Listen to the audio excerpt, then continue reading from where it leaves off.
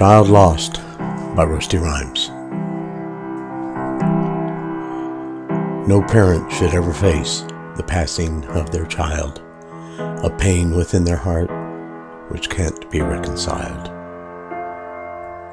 The reason that it happens can bring some small relief or bring them to their knees in overwhelming grief. An accident may take them, disease can make life fade, but where does one find comfort if it's choices which they made?